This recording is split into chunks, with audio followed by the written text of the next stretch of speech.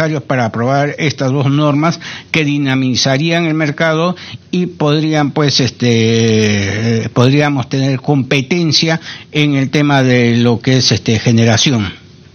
No sé qué es lo que piensan ustedes. Para mí, yo creo que es una traba que está impidiendo que accedamos al mercado todos aquellos que estamos involucrados en las energías renovables y este y que nos va a dar un fracaso, eh, nos va a detener en nuestro progreso durante mucho tiempo. Inclusive podríamos hablar pues que se estarían incrementando los costos de este eh, bien, sí, la problemática es este es real, es, pero estamos ahora nos vamos a enfocar en el sistema interconectado. Vamos a hablar del sistema interconectado porque son dos proyectos que son eh, relativamente de mucha importancia para los, este, las expectativas de la penetración de energías renovables en el sistema. Los países eh, de la región han avanzado en, algunos aspectos relacionados al reglamento de la generación distribuida, que está prepublicada en nuestro, en nuestro país. El Ministerio tiene la ha emitido la prepublicación, pero más no en el concepto de la potencia firme. ¿no? El concepto de la potencia firme es un concepto que, digamos, es más complejo aún y que en la misma región, digamos, tiene sus bemoles. Eh, pero podemos hablar del mismo también, ¿no? O sea, es, el, es una alternativa a la solución que tiene, eh, digamos, el, eh, el de las inversiones en, renovables. pero tal vez no es la única, y en eso está trabajando en los Sinermín una consultoría que va a, abordar este tema y los va, y va a dar resultados me parece, no es mi área la que ve esos temas, es el área regulatoria, pero me parece que en, abril o, mayo de este año. Entonces el Ministerio está esperando los resultados también de ese, de ese esfuerzo de consultoría, donde se aborda este concepto de potencia firme, se aborda el tema de la generación distribuida, que es un, es un nivel digamos, digamos de mayor este, alcance, el de la generación distribuida, porque cambia los paradigmas ya de la cadena de valor de la industria eléctrica. Entonces, este, yo creo que antes van a atender el tema de la potencia firme en la agenda del ministerio y luego se van a abordar los aspectos de la generación distribuida. ¿Sí? Bueno, tipo... Ah. Sí, eh, Jaime, y, después seguimos así de, extremo a extremo.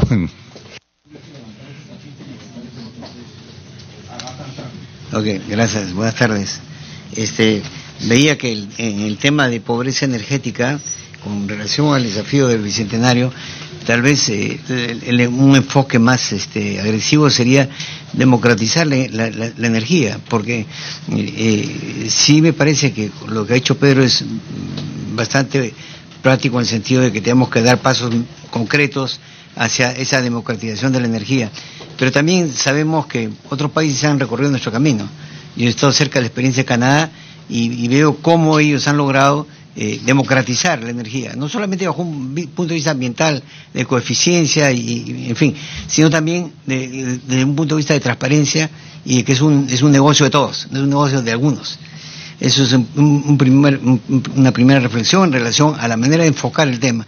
Y una segunda reflexión, diría yo, es que un, tema como esto tenemos que verlo a la luz no solo de las regulaciones, no solo a la luz del financiamiento o solo a la luz de los aspectos financieros.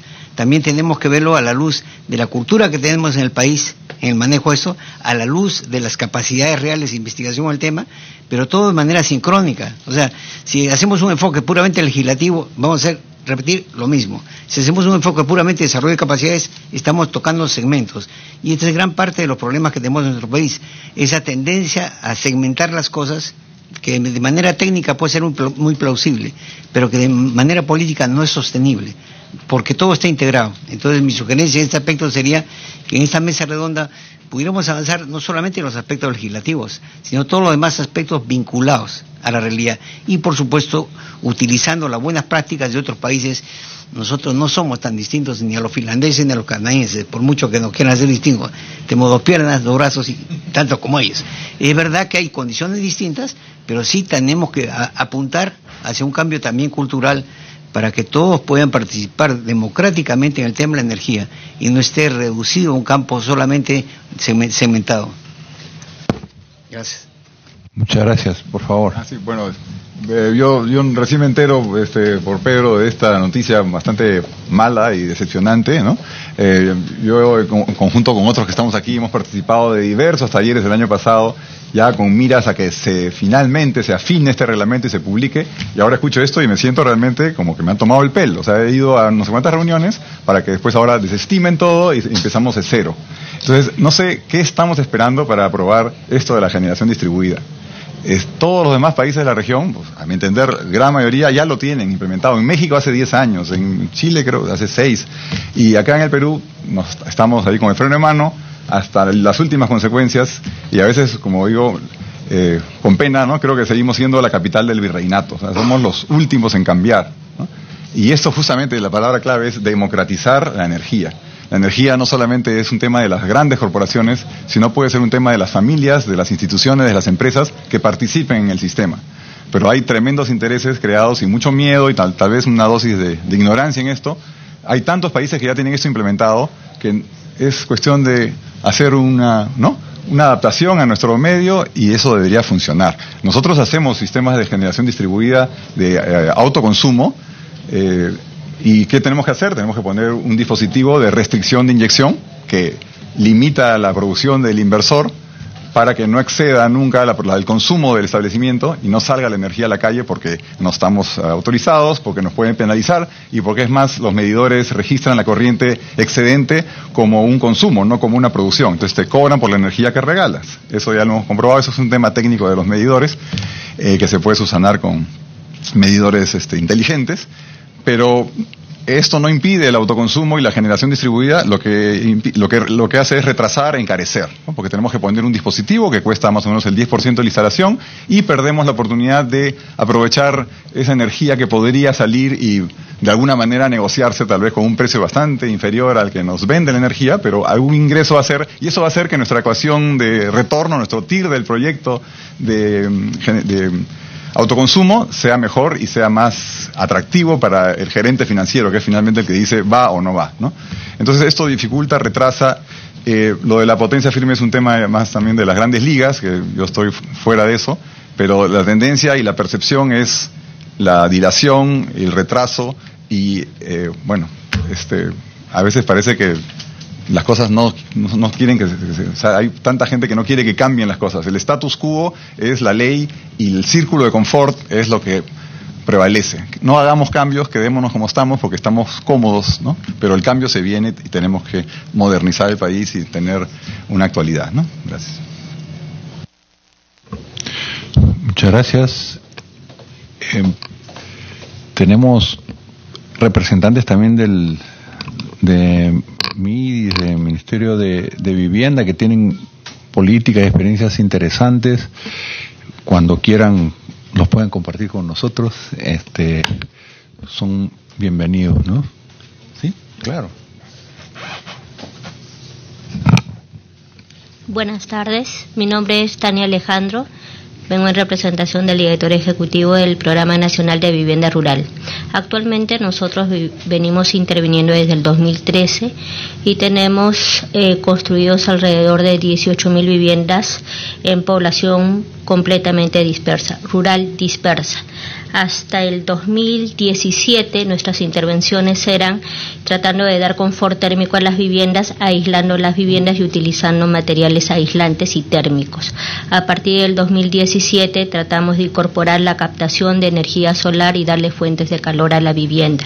Eh, estuve escuchando parte de las exposiciones y creo que debemos intervenir con intervenciones multisectoriales. Si bien es cierto, nosotros tenemos presupuesto para mejorar las viviendas, darle un tipo de, de confort de habitabilidad a, las poblaciones que viven en las zonas más alejadas, pero si bien es cierto, tampoco no tenemos recursos para ver el tema de saneamiento, para ver el tema de energía, para ver el tema de producción.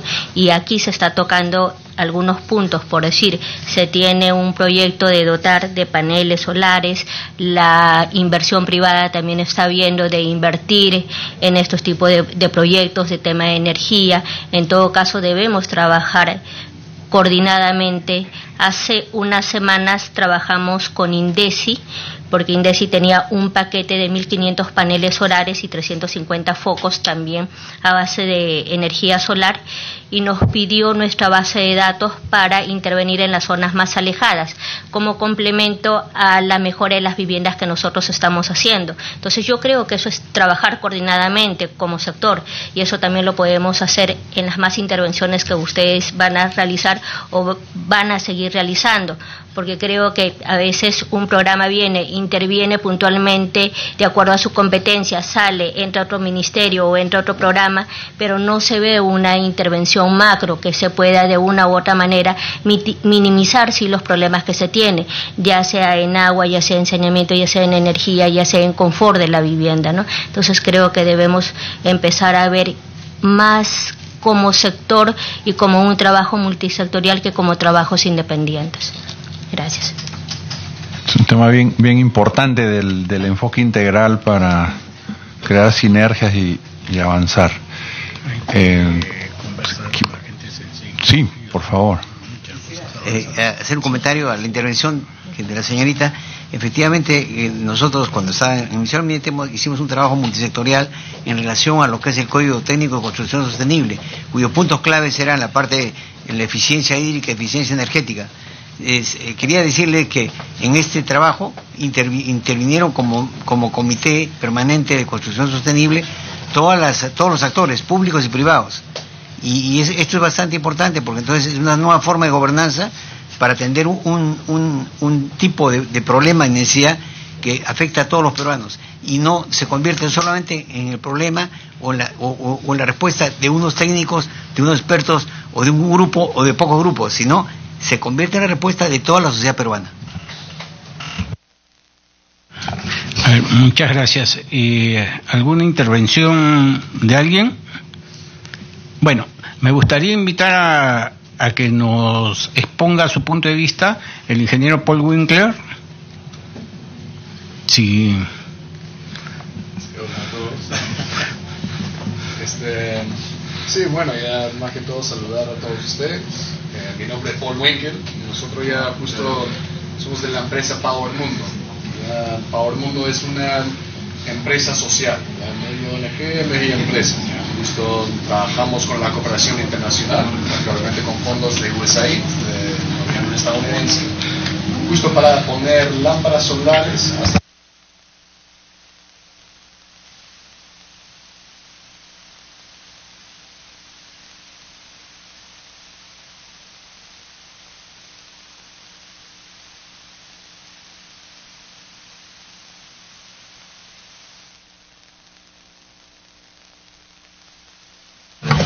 ¿Ahora me escuchan? Como decían, este Power Mundo trabaja con este tema de acceso a energía con productos limpios, solares, que ya este, pueden ir desde lámparas solares hasta sistemas al nivel domiciliario. Y el trabajo que hacemos es justo ya importar productos de alta calidad que de hecho cumplen con la norma peruana. Somos la mayor importadora y distribuidora de productos que cumplen con esta norma eh, a nivel nacional. Y así trabajamos con distribuidores locales y con instituciones ya públicas, privadas, ya de la sociedad civil y también con la cooperación internacional eh, para que podamos poner estos productos y ahí disponible para las personas para que puedan dejar de usar las velas, los mecheros, los productos que al final son bien dañinos para su propia salud y su propia economía. Entonces ya aquí más bien muchas gracias por la invitación. Estamos para ver ya cómo podemos colaborar con todas las instituciones aquí para que ya estos productos lleguen a la gente que lo necesite y felizmente por este programa que tenemos con USAID ya eh, podemos poner estos mismos productos a un precio bien social justo para que sirve como una primera semilla para las personas que no tienen acceso a energía pueden usar la energía solar limpia y asequible para que ya pueden ir avanzando, aunque sea primero con una lámpara y después se puede ir comprando a los sistemas ya solares todo a un buen precio. De hecho, ya parte de lo que hacemos es acceso a energía y también parte es acceso a financiamiento. Ya, lo que hemos visto en muchas de estas zonas es que la gente quiere tener un producto para su propia energía. Algunos ya tienen este grupos electrógenos o algo así y no pueden estar pagando así un sistema solar grande. Están acostumbrados a pagar ya este para su gasolina mensual o algo así, pero ya eso significa que nunca toman ese cambio para un sistema más grande. Entonces nosotros ya tenemos eh, sistemas de energía prepago, donde ya se puede ir financiando la compra de un sistema más grande, pagándolo mes al mes. Cada mes que se paga ya se emite un código y se mete ese código dentro del sistema para activarlo durante tal periodo. Entonces ya eso sirve para ir ya pagando en cuotas, dar acceso a financiamiento también en zonas donde no hay muchas veces ya acceso al sistema crediticio. Y con ese tipo de sistema ya podemos brindar un, un acceso no solo al financiamiento, pero también tenemos potencial así para mejorar ya este, los mismos servicios públicos que se está haciendo donde muchas veces es difícil dar esa, esa cobranza, ese seguimiento, esa gestión en zonas tan alejadas. Podemos automatizarlo todo a través de un sistema prepago ya digital manejado por la informática. Espero que les sirve algo ese tipo de, de información aquí para responderles. Muchas gracias, Paul. Eh, nos gustaría escuchar la opinión del ingeniero Luis Ordóñez del MIDIS sobre los temas que estamos discutiendo. Buenas, tardes. Eh, sí, yo vengo en representación del director general de calidad de las prestaciones sociales, de los programas sociales del MIDIS. Y básicamente escuchando las presentaciones, en realidad creemos que es importante este espacio de concertación en el cual se discuten temas de pobreza energética. ¿no? Anteriormente he venido de gobiernos regionales y creo que es importante también involucrar a las autoridades de los tres niveles de gobierno. Porque en este caso los gobiernos regionales tienen, a través de sus direcciones de vivienda y su dirección de energía y minas, tienen proyectos en los cuales eh, se encargan de financiar proyectos justamente de paneles solares. Y no sé si esto sería importante compartirlo con estas autoridades nuevas que han sido elegidas en este periodo. Y a través del MIDIS, eh, básicamente lo que nosotros pretendemos es eh, mejorar las prestaciones, digamos, sociales, básicamente de, alimentación, de viviendas saludables y otros programas que se están ejecutando. Básicamente en energética no tenemos todavía, digamos, una intervención directa, pero eh, podríamos aportar en el tema de lo, nosotros tenemos, digamos, contactos con las instancias de articulación local, que estos son generados a través de los alcaldes distritales. Entonces son ellos los que lideran, digamos, y conocen más la realidad de los lugares en los más alejados a los que falta, digamos, este, estas, o estas brechas existen. Entonces se podría bastante mejorar digamos, las coordinaciones con estas autoridades y este, lograr, digamos, que los trabajos sean articulados. Muchas gracias. Este es un tema también bien importante de, de, los actores y no solo la acción integrada, sino los actores y la dimensión regional y, y local que es clave para la implementación de estas, uh, de estas políticas. Eh, Mario, ¿te animas? Sí. Ante todo, muchísimas gracias por la invitación. Mil disculpas por la tardanza. Antes sabía que llegar una hora antes, salir una hora antes, ahora son dos horas antes para venir a Lima, ¿no? Cuando viene uno en auto público, sobre todo. Pero bueno, este, entiendo que lo que nos, nos reúne es el tema de pobreza energética. Realmente he estado viendo cifras. Antes de hacer cualquier reflexión, la verdad, yo quisiera saber, porque así se nos dijo, que iba a estar también un representante del Ministerio de Energía aquí.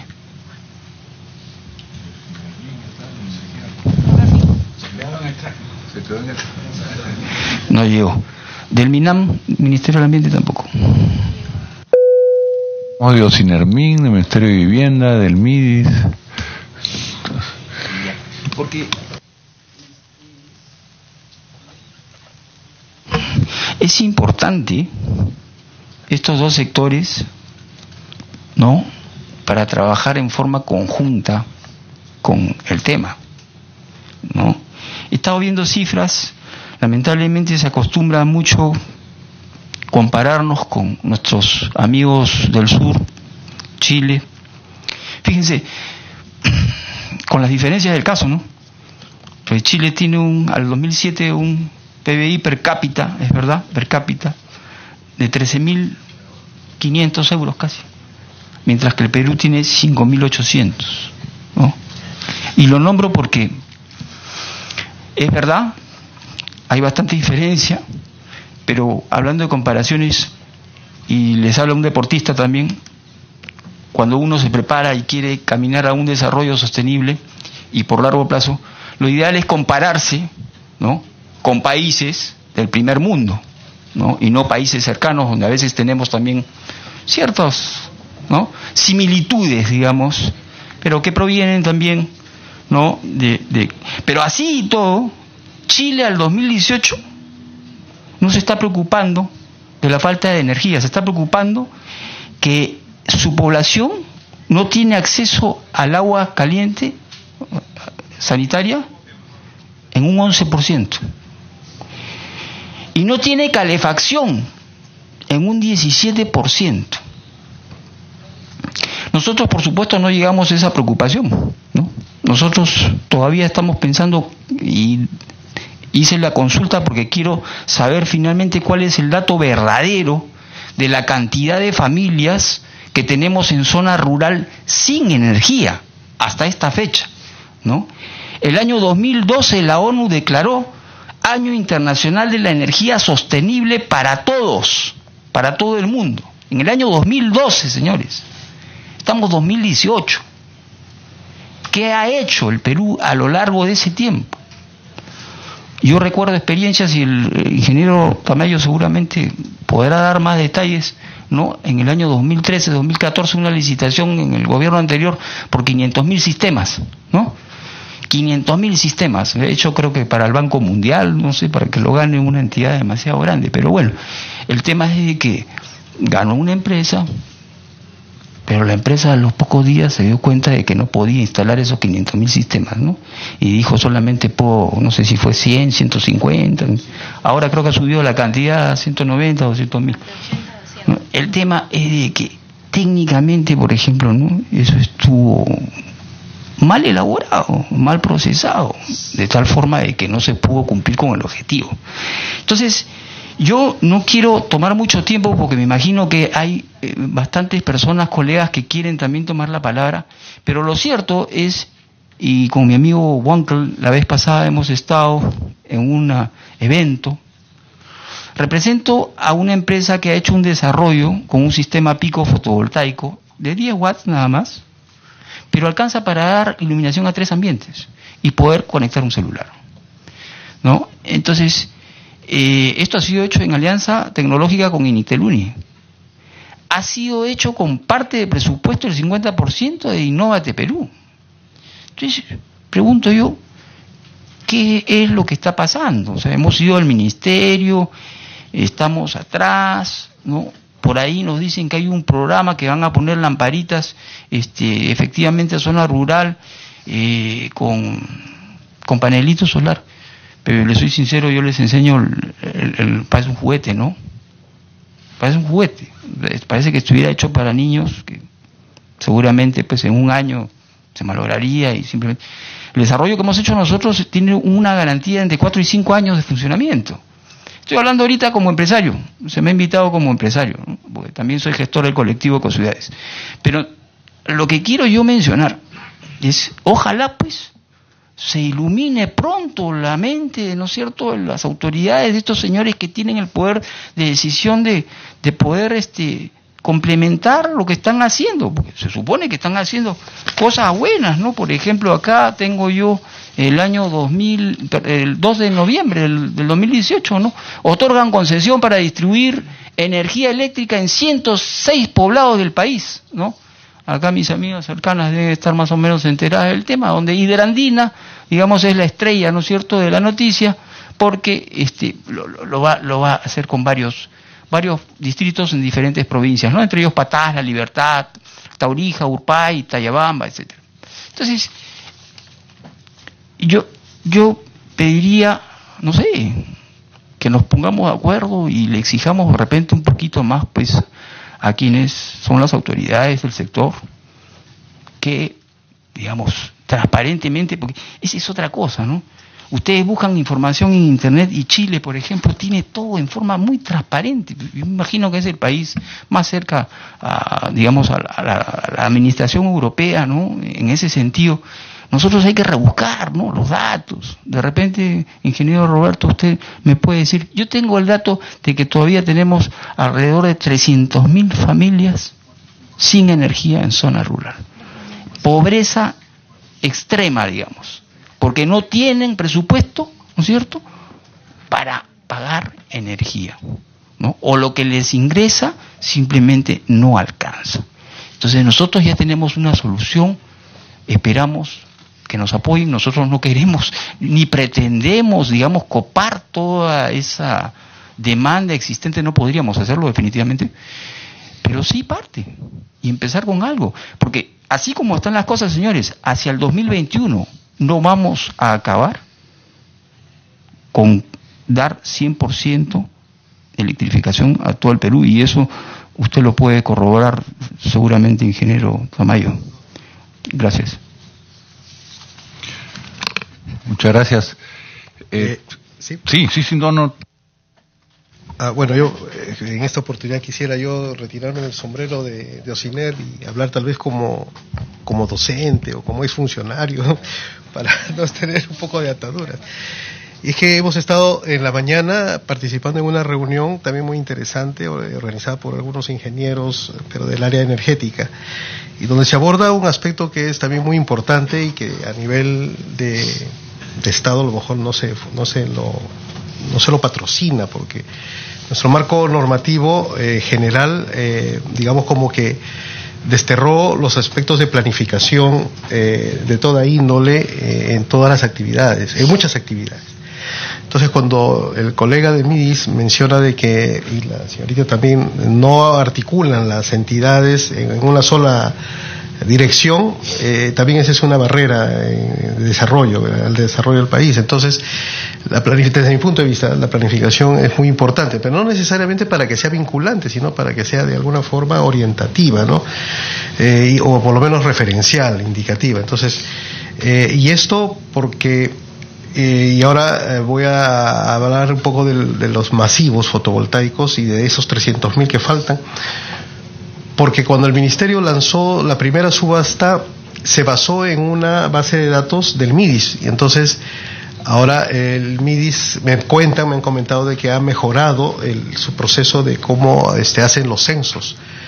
¿no? Eh, eh, y entonces esos 500.000 se tuvieron que abortar porque no fueron 500 mil.